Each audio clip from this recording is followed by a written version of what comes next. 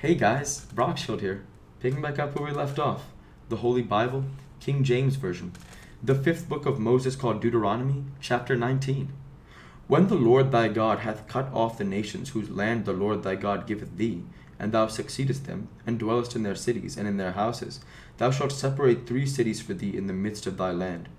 which the Lord thy God giveth thee to possess it. Thou shalt prepare thee a way and divide the coast of thy land which the Lord thy God giveth thee to inherit, into three parts, that every slayer may flee thither. And this is the case of the slayer, which shall flee thither, that he may live, whoso killeth his neighbor ignorantly, whom he hated, not in, the time, not in time past.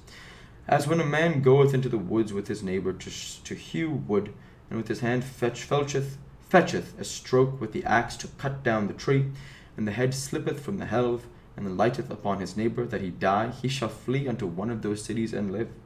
Lest the avenger of the blood pursue the slayer, while his heart is hot, and overtake him, because the way is long, and slay him, whereas he was not worthy of death, inasmuch as he hated him not in time past. Wherefore I command thee, saying, Thou shalt separate three cities for thee. And if the Lord thy God enlarge thy coast, as he hath sworn unto thy fathers, and give thee all the land which he promised to give unto thy fathers, if thou shalt keep all these commandments to do them which I command thee to this day, to love the Lord thy God, and to walk forever in his ways, then shalt thou add three cities more for thee, beside these three. The innocent blood be not shed in thy land, which the Lord thy God giveth thee for an inheritance, and so blood be upon thee. But if any man hate his neighbor and lie in wait for him, and rise up against him, and smite him mortally that he die and fleeth into one of these cities, then the elders of his city shall send and fetch him thence, and deliver him into the hand of the avenger of blood, that he may die. Thine eye shall not pity him, but thou shalt put him put away the guilt of innocent blood from Israel, that it may go well with thee. Thou shalt not remove thy neighbor's landmark, which they of old time have set in thine inheritance, which thou shalt inherit in the, in the land that the Lord thy God giveth thee to possess it.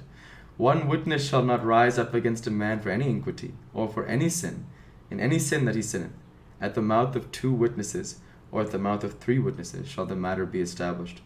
If a false witness rise up against any man to testify against both